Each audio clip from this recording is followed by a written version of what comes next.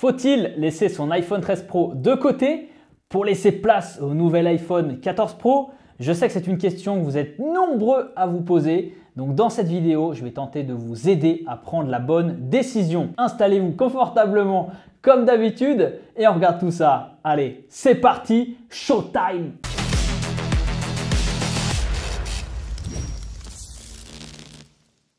Déjà, pour commencer d'un point de vue design, les deux iPhones se ressemblent beaucoup. Tous les deux ont un design à bord carré, la tranche est en acier inoxydable, brillant, et le dos est en verre matifié. Mais si on s'approche de plus près, quelques détails les différencient, avec notamment les capteurs photo qui s'agrandissent encore un peu plus sur l'iPhone 14 Pro.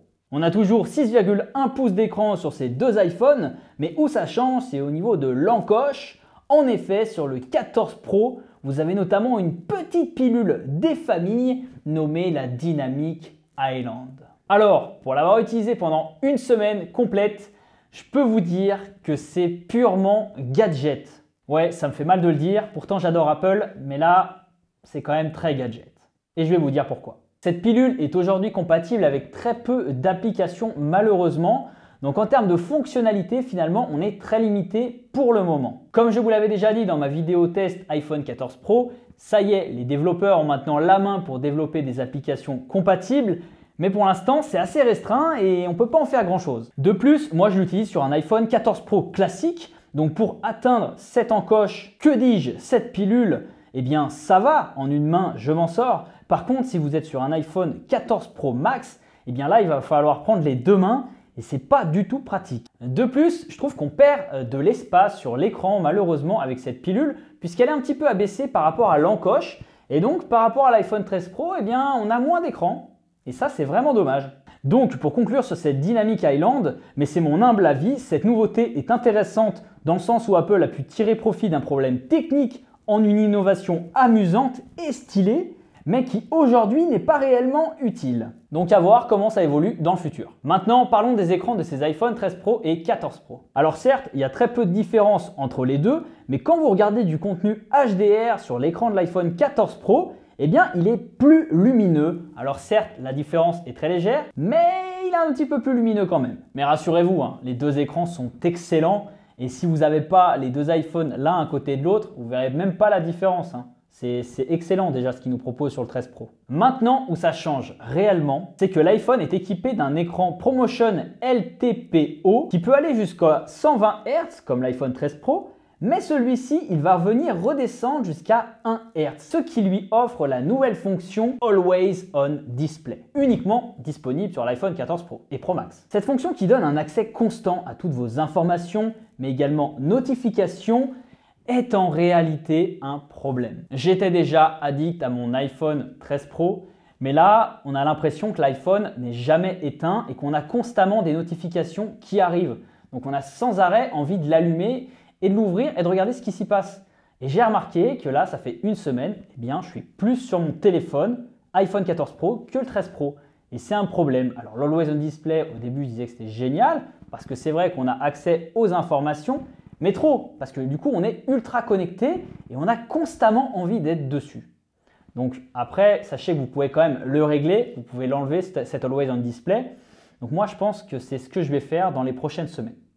D'ailleurs, pour ceux qui ont l'iPhone 14 Pro, dites-moi dans les commentaires si vous passez plus de temps ou non depuis cette nouvelle fonction. Bon, en tout cas, on en reparle dans quelques semaines parce que je pense que ça peut être un sujet de vidéo intéressant de, parler de cette Always on Display notamment pour faire un point sur la batterie si ça cause des dommages ou non, et puis sur l'utilisation parce que je pense que je ne suis pas le seul à être dans ce cas-là.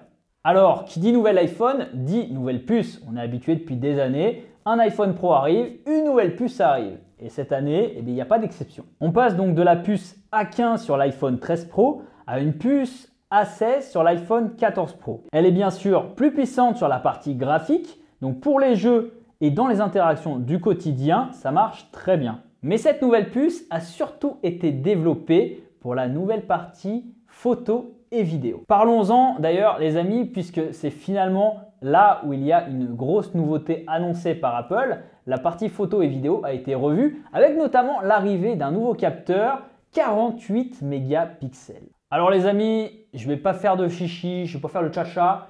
Pour le coup, je vais être complètement transparent avec vous. Et là, j'ai pas senti une grosse différence. Donc parlons peu, parlons bien. D'un côté, on a un iPhone 13 Pro qui est équipé de trois capteurs. Vous avez un téléobjectif de 12 mégapixels jusqu'à x3, un ultra grand angle de 12 mégapixels et un grand angle. De l'autre, on a l'iPhone 14 Pro qui gagne un capteur donc de 48 mégapixels sur le grand angle mais pour l'exploiter pleinement, il faudra activer le mode RAW dans les paramètres de votre iPhone. Et notez qu'une photo prise au format RAW va peser plus de 79 MO, alors qu'une photo donc de 12 mégapixels sur l'iPhone 13 Pro va peser 2,7 MO. Ouais, l'innovation, elle est lourde quand même.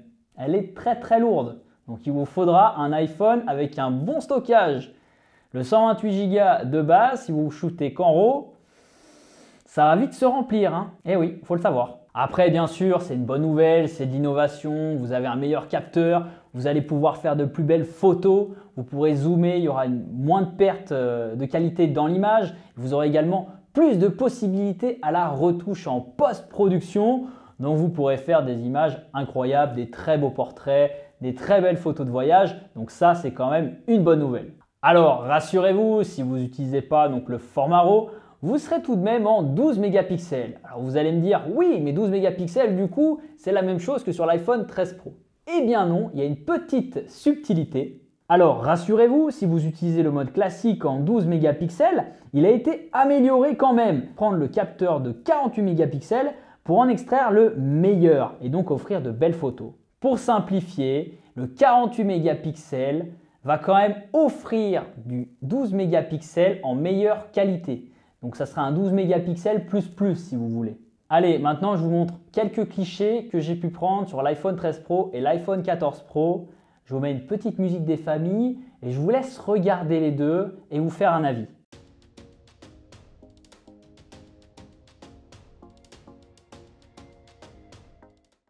Alors personnellement, je vais vous dire ce que je pense. Pour moi, il n'y a pas énormément de différence dès lors qu'on shoot dans les formats classiques en 12 mégapixels. Pour moi, il y a très peu de différence. Juste pour ça, ça vaut pas le coup de changer d'iPhone euh, si vous shootez en mode 12 mégapixels. Par contre, si vous utilisez donc le 48 mégapixels et que vous shootez en RAW, là oui, clairement, il y a une différence, c'est bien mieux.